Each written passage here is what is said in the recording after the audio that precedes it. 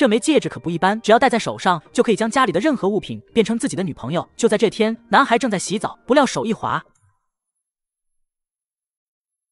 将肥皂掉在了地上，结果下一秒，一个胖嘟嘟的女孩出现在他面前。因为肥皂妹本身就是肥皂出身，最爱和别人洗澡。但大壮有些不知所措，觉得肥皂妹实在太胖，根本不符合自己，并将她赶了出去。肥皂妹看着屋里脏乱不已，结果肥皂妹启动洁白技能，等大壮洗完澡出来时，发现家里整洁如一。等到第二天，大壮从同事口中得知，肥皂妹属于消耗品，只要多用上几次，肥皂妹就会越来越瘦。于是他每天想尽一切办法洗澡，白天洗完晚上洗，不是在洗澡，就是在洗澡的路上。吃饭时。故意弄脏自己的衣服，踢球时别人都在认真踢球，而大壮却在地上来回翻滚。肥皂妹看到后无法忍受，当即就要就地和他洗澡。就这样，在肥皂妹的巨大消耗下，她终于瘦了下来，并且变成了一位美女。大壮看到非常满意。既然肥皂妹是消耗品，那就有可能在使用过程中慢慢消失。大壮为了不让肥皂妹彻底消失，他每天想尽一切办法不再洗澡，甚至偷偷买回来几瓶沐浴露。当他发现后，以为大壮彻底开始嫌弃自己，一气之下便跑出家门。不料因为外边下雨，导致肥皂妹在雨水的冲刷下变成了一堆泡沫。彻底离开了大壮，他为了找到一个可靠的女朋友，这次竟把目标放在了一条金鱼身上。男孩获得一枚神奇的戒指，可以将物品任意变成女朋友。这时，他把目标盯上一条金鱼，然后拿出浴缸中的金鱼，直接用力一甩，结果下一秒。